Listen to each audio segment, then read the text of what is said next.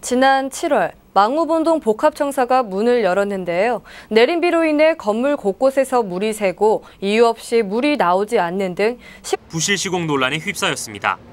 지난 7월 말 이틀에 걸쳐 내린 비로 건물 곳곳에 누수가 발생한 것. 5층 대강당과 지하 주차장 등 비가 샌 곳은 여러 군데입니다. 이달 중순에는 화장실을 비롯한 청사 모든 곳에서 물이 나오지 않기도 했습니다. 하루가 지나도록 그 원인을 찾지 못해 이용객들이 불편을 겪어야 했습니다. 중량구에서 가장 호화롭게 에, 지은 청사가 아, 이렇게 부실하게 시공된 데 대해서 어, 주민들이 에, 굉장히 에, 이거에 대한 개탄스러움을 금치 않다고 말씀하고 있습니다. 그래서 구청은 누수에 대해 건물 6층의 마감 공사 과정에서 방수층에 생긴 틈이 원인이라고 밝혔습니다.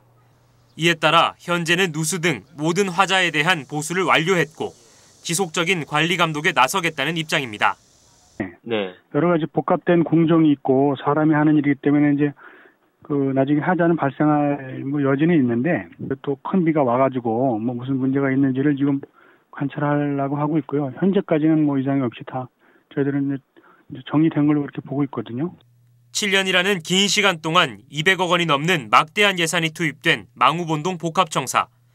호화청사라는 명성 뒤에 부실 시공의 그림자가 비치고 있습니다. CNN 뉴스 김동훈입니다.